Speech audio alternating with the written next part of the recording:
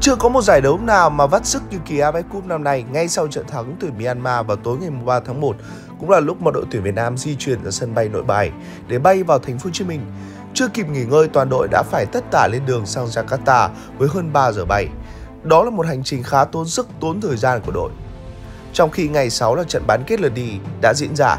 Theo lịch thì đội tuyển Việt Nam sẽ ra sân ở Gelora Bungkarno tập luyện vào lúc 18 giờ hoặc 18 giờ 30. Nhưng cơn mưa lớn vào buổi chiều đã khiến huấn luyện viên Park Hang-seo quyết định hủy buổi tập ngoài sân cỏ mà thay vào đó, toàn đội sẽ tập căng cơ thả lỏng ngay tại phòng sinh hoạt chung tại khách sạn đang ở. Đây là buổi tập nhằm giúp các trò thả lỏng sau trận thắng Myanmar 3-0 ở lượt cuối vòng bảng, cũng như hồi phục sau trạng di chuyển tốc hành Hà Nội, Thành phố Hồ Chí Minh, Jakarta. Việc không thể tập luyện ở sân cỏ ít nhiều cũng sẽ ảnh hưởng đến quá trình chuẩn bị của đội tuyển Việt Nam cho trận bán kết lượt đi. Vốn dĩ tuyển Việt Nam chỉ có 2 ngày chuẩn bị cho trận bán kết lượt đi, nhưng thầy trò huấn luyện viên Park đã mất đi một buổi tập do mưa lớn. Do đó cả đội sẽ chỉ còn một buổi tập duy nhất làm quen sân đấu lúc 16 giờ 30. Trong buổi họp báo trước trận bán kết lượt đi AFF Cup 2022 với đội tuyển Indonesia, huấn luyện viên Park Hang-seo cho biết, vốn dĩ chúng tôi cũng có kế hoạch tập luyện bình thường, nhưng đội mới thi đấu xong lại bay 3 tiếng từ thành phố Hồ Chí Minh sang Indonesia nên cần nghỉ ngơi hồi phục. Trong khi đó, chủ nhà Indonesia vừa có lợi thế sân nhà, lại vừa có lợi thế được nghỉ ngơi nhiều hơn một ngày, không phải di chuyển mệt nhọc. Nhưng đó mới chỉ là một phần, quả thực, điều người hâm mộ quan tâm nhất lúc này còn nằm ở việc cổ động viên Indonesia sẽ đón tiếp các vị khách áo đỏ sao vàng như thế nào sau đây. Sau những gì kinh hoàng mà Thái Lan đã trải qua trước đó, Vé xem trận lượt đi bán kết AFF Cup 2022 giữa chủ nhà Indonesia và đội tuyển Việt Nam đã được bán gần hết. Năm trong số 7 khu vực chỗ ngồi có sẵn đã sâu đảo trên website đặt vé chính thức của Indonesia.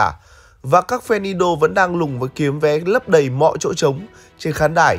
Tuy sân Bukakno chỉ được đón khoảng 50.000 cổ động viên, trong khi sức chứa có thể lên đến hơn 77.000 người. Nhưng con số này vẫn là cao hơn mức 40.000 ở sân Mỹ Đình.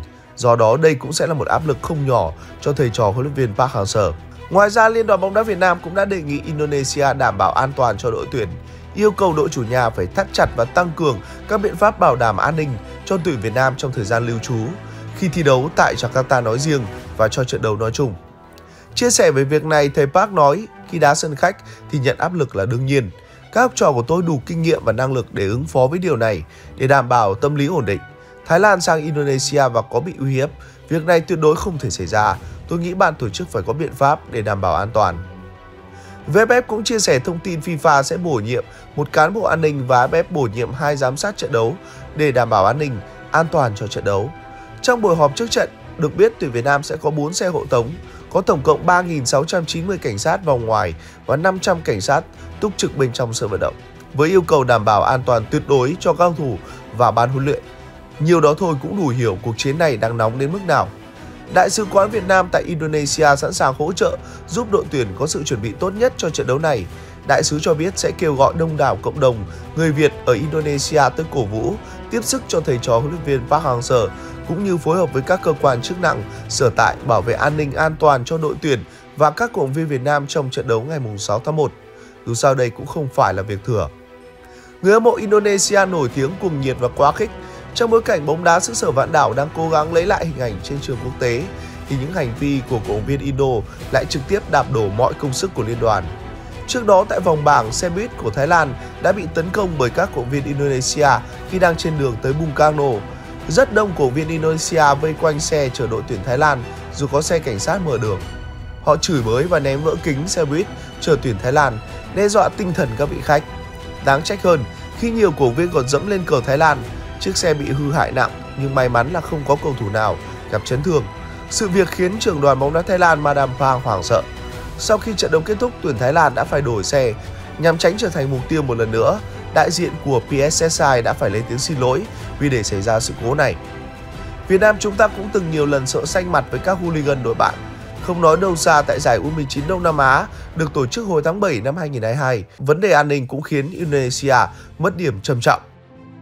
Cụ thể khi đó U19 Việt Nam xuất sắc giành ngôi đầu bảng ở bảng đấu có sự góp mặt của U19 Thái Lan và U19 Indonesia để giành vé vào bán kết U19 Đông Nam Á, trong khi chủ nhà xứ Vạn Đảo bị loại.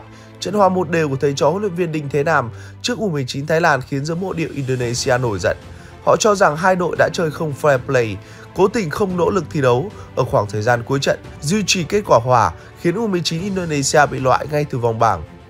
Lãnh đạo đội U19 Indonesia, ông Andri Erawan, yêu cầu loại cả hai đội khỏi giải đấu.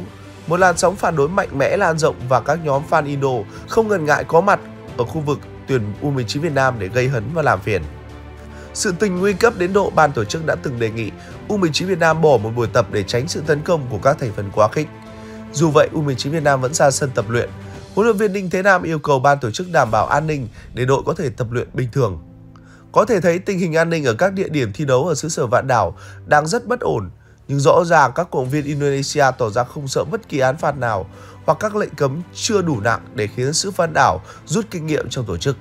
Indonesia từng nhận án phạt từ FIFA vì các cổ viên Malaysia bị tấn công trong trận mở màn vòng loại World Cup 2022. Nhưng rồi sao? Ngay sau đó là một vụ bạo động được xem là kinh hoàng nhất lịch sử bóng đá Indonesia giữa những cổ viên của câu lạc bộ Persebaya Surabaya với PSS Sleman. Nhiều cổ viên của đội chủ nhà đã vượt qua ra hàng rào và lao xuống sân sau khi tiếng còi kết thúc trận đấu vang lên. Đám đông hùng hãn này đã đập phá, đốt cháy sân vận động, tạo nên một cảnh tượng kinh hoàng. Và không lâu sau đó, không một ai có thể quên, đất nước này tiếp tục trải qua thảm kịch Kanjuruhan khiến 125 người thiệt mạng, hơn 300 người bị thương hôm 1 tháng 10. Sau trận đấu giữa Arema Malang và Persebaya Surabaya ở giải Indonesia, một cuộc hỗn chiến đã xảy ra. Cảnh sát vào cuộc và sử dụng hơi cay để chấn áp đám đông. Dẫu vậy, hành động này lại trở thành ngòi nổ dẫn đến cuộc dẫm đạp trong hỗn loạn sau đó, dẫn đến bi kịch thương tâm cướp đi sinh mạng của hàng trăm con người. Sự cố này cũng trở thành thảm kịch có số thương vong nhiều thứ ba trong lịch sử bóng đá thế giới. Chỉ sau thảm họa sân vận động Accra Sport ở Ghana năm 2001 và thảm họa Estadio Nacional ở Lima, Peru năm 1964. Sự cố này gióng lên hồi chuông cảnh báo cho bóng đá Indonesia về vấn nạn bạo lực mất kiểm soát ở nơi đây. Thế nhưng sau vụ việc thương tâm này, có vẻ vẫn không cải thiện được mấy nhận thức của người dân Indonesia.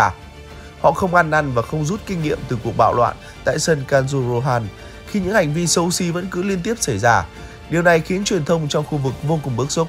Malaysia là một ví dụ khi nước này đi đầu trong việc kêu gọi đưa ra một án phạt nặng dành cho Indonesia. Họ cho rằng Indonesia nên bị cấm thi đấu trước các cổ viên nhà trong vài năm. Thái Lan và Malaysia cũng kêu gọi Liên đoàn bóng đá châu Á và FIFA cũng phải vào cuộc. Hình phạt phải được áp dụng cho Indonesia.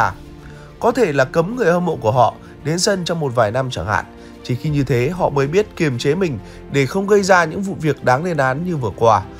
Tất cả đều là vì sự an toàn của người hâm mộ và các đội bóng.